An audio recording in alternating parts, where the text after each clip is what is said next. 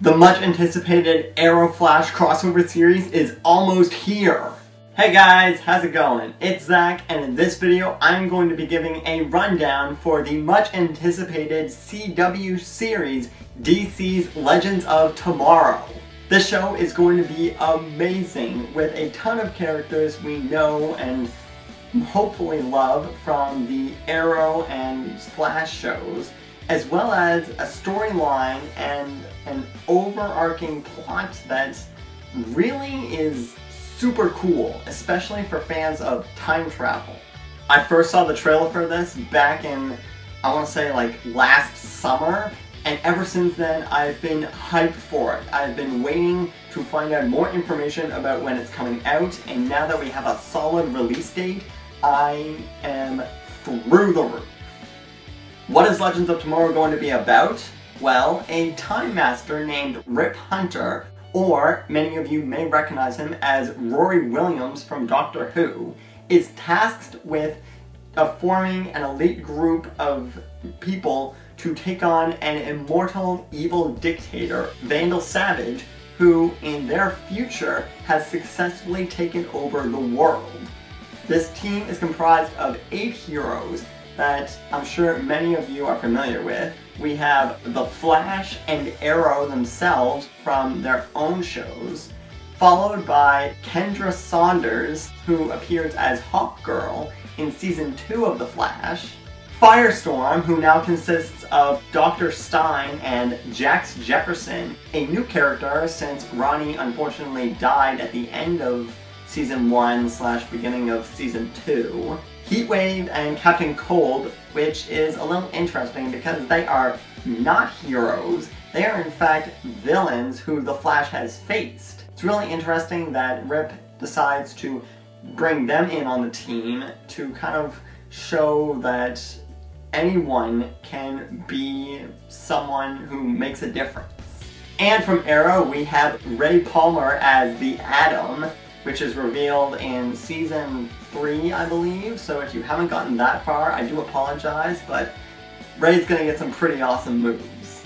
And finally, we have Sara Lance appearing as White Canary, also from season 3 of Arrow. She died, and apparently she's being brought back onto the DC scene by some miraculous recovery or resurrection something like that. We're just gonna have to watch the show and find out exactly how that all happens. The first trailer that I saw a number of months ago really was the big wow factor, the shock of this new show is coming, all these characters are coming in, it's going to be amazing, the storyline feels really cool, and then we got a second trailer, a little TV spot, that gave us even a little bit more.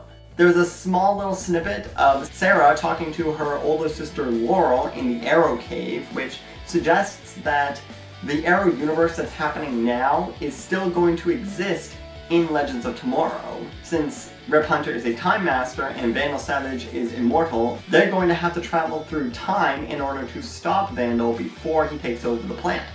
Also, there were small little references to Superman in the phrase Man of Steel and Batman with Dark Knight.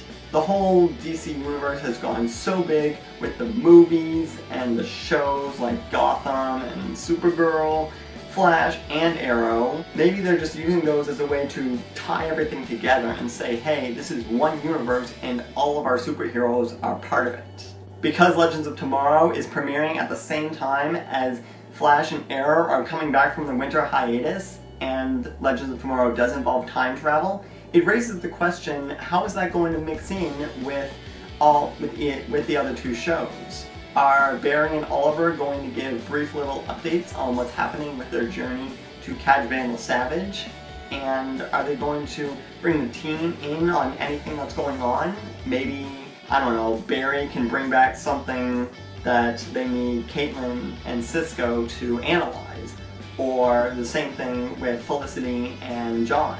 The possibilities are endless with the three shows that are going on right now, but I am definitely anxious to see what's going to happen. Regardless of what's going to happen between the three shows interacting and all happening at the same time, what viewers can expect, more great acting, team quarrels because there's a few hotheads on the team, no pun intended, Heatwave. There's strong personalities and they're not always going to get along, so how is that going to work out? I'm expecting a ton of comedy because Ray Palmer himself is pretty comedic and the trailers that I've seen so far, they throw, they throw in little quips and one-liners that I'm sure will happen plenty of more times. There's going to be a lot of action and growing team cohesion as they learn to feed off each other's powers and work together with the with others that they probably wouldn't. Captain Cold and Heatwave, again, villains, so how is Barry going to deal with having to work with them to take down Vandal. And of course, since the time travel element is so huge, there's going to be a lot of meddling with time. It's very, very tempting when something happens in the past that you know you can change and you think it's going to turn out for the better, it's really hard not to just go full force and stop what's happening without thinking about the consequences that it can cause down the road. We've seen this happen countless times in TV and movies. Back to the Future, Doctor Who, Harry Potter and the Prisoner of Azkaban. There are so many different ways that time travel can get messed up and things to learn even though it's mostly the same thing over and over. They don't learn from their mistakes a lot of the time, sometimes they do, but either way, meddling with time definitely going to be an issue that everyone's going to have to deal with, and Rick's probably going to get on their case about it. I can definitely see Legends of Tomorrow quickly becoming one of my favorite DC shows on TV. What with Supergirl, Arrow, and The Flash being so enjoyable, I have no doubt that this fourth DC show is going to blow my mind. Now I want to hear from you guys. What are your opinions on DC's Legends of Tomorrow? Are you super excited just for the same actors that are in Flash and Arrow, or Maybe are you a comic book reader and you know the lore behind what's going to be happening in the show and possibly want to see how they interpret it on screen. Let me know in the comments below and I would absolutely love to hear what you guys have to say. I wasn't entirely a DC fan until I started watching these shows, but I think that's one of the really cool things about growing as a person is trying new things and maybe you'll like it, maybe you won't, but the point is you tried it and that's what matters. If you guys like this video, don't forget to punch the like button, share around, comment below, and subscribe to be notified of all my latest videos. Wait, that way. Yeah, subscribe's over there. And if you want to check out my previous video in the series, you can click down in the description or that little eye in the sky up in that top right hand corner. It's been great talking to you guys and I'll catch you in my next video. Bye!